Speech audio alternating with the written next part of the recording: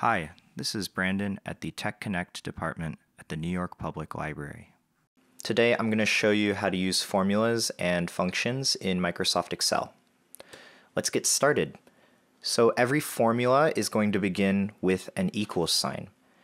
And after that equals sign, you're going to put any sort of mathematical expression.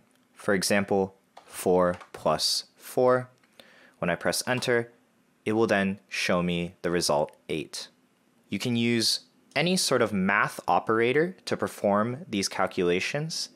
And there's also more operators in addition to these to handle other types of information, such as words or strings or Boolean values. In addition to handling typed out numbers, a formula can also involve cell references. For example, if I type in equals A1, it will give me 8 because that's the value inside of A1. And I can also use cell references together with my arithmetic operators.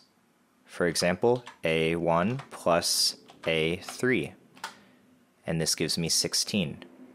These types of formulas are helpful because if our cell values change, our formula will be updated accordingly. Now within the world of formulas, we have a special type of formula called a function. Functions perform more specialized, predefined calculations for us. For example, if I want to add all of these numbers together, I can use a function called sum. This is what it looks like.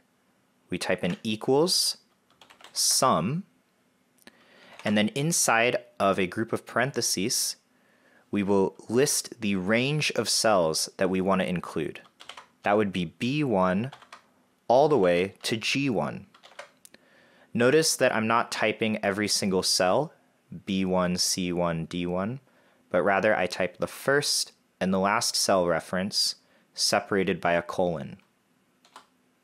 Let me break down exactly how these functions are structured. So every function, like every formula, begins with an equal sign. After the equal sign, you will have a function name. The name of this function is sum, but I could perhaps call another function. For example, I could calculate the average using the average function. After the function name, a group of parentheses will contain arguments. Arguments are all the information that you need to provide to a function in order for it to complete its job. For example, we can see down in this pop-up below us that the average function needs numbers in order to do its job. Every function will have a different type of requirement for what its arguments are.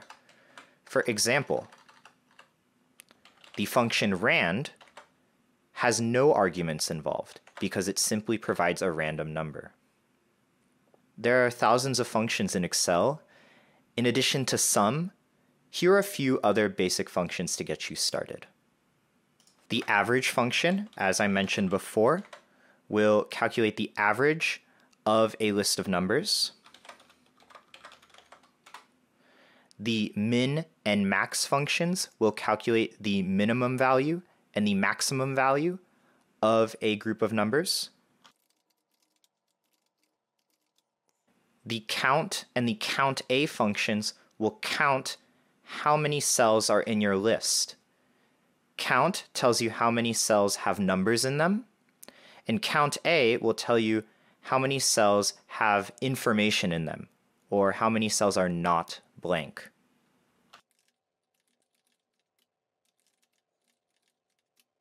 For example, if I change the contents of this G cell to a word, it will not change our count A value, but it does change our count value. That's all you need to know to get started with formulas and functions, and if you want more practice, you can join us for a free online or in-person class at the New York Public Library. See the description to find a link to find the class that's right for you. Thanks for watching.